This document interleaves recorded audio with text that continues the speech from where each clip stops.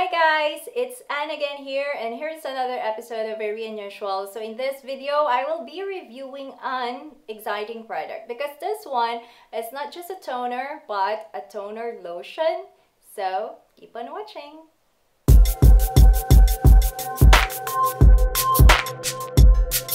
Okay, so you know what? I've been really a fan of Japanese skincare products. I know they are not uh, that popular when it comes to skincare line in the market. But I don't know, for some reason, most of the Japanese products that I tried worked really well for me.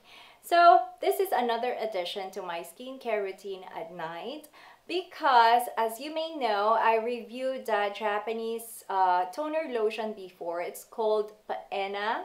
If you still remember, I like it because it's a toner at the same time a lotion. I used to be using toner, but somehow they caused me hyperpigmentation. But the Some By Mi toner that I've used recently, I thought it works well also. It doesn't give me hyperpigmentation. So this one, I've been using it for like, I think two weeks now, guys. And I'm very happy with this product because it's also very moisturizing and hydrating because of course it's a toner lotion. We're just advised to get a pea size of this and then wrap it along your fingers and then top it all over your face. But with me, I make it twice a pea size. So I, I would really feel that softness when applying it on my face. And I really like to, you know, take advantage of it by topping it. And I thought it also improved blood circulation. okay, but yeah, uh, so far when it comes to moisturizing and when it comes to hydrating my face, I think it works well. When I wake up in the morning, I would really see that and I thought my skin has been really soft lately. And also, I like the dewy effect that it brings. Sometimes I even use this thrice a day. Imagine that.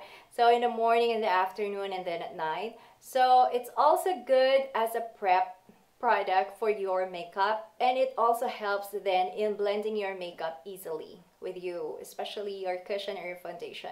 So yeah i'm so far i'm happy about this product. It's just that the primary claim of this product is its brightening effect. I haven't noticed that really but probably with continuous use of this product then i would be able to see that because uh, what they say about this Shirojyun, which is the main ingredient of this product. I'm not sure if I pronounce it correctly. Just please correct me if I'm wrong. But uh, most of the reviewers also say that that content or that primary ingredient, Shirojyun, uh, takes time to really get used to your face. It takes time to really uh, see its effect. And I think that's the primary ingredient for the brightening claim of this product. So it would really take time to see the brightening effect. But yeah, when it comes to packaging, I thought it's also hygienic. When it comes to price, it's affordable. And I like it that it's called in color blue. That's my favorite color. I thought it's, uh, yeah, it looks really good.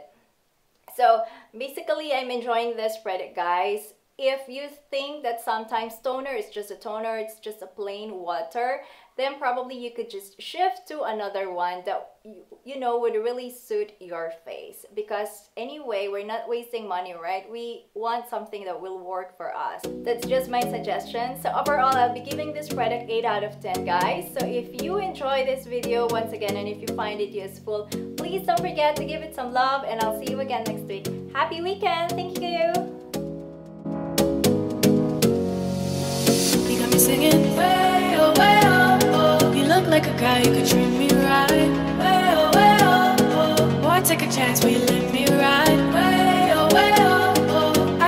best thing in your life.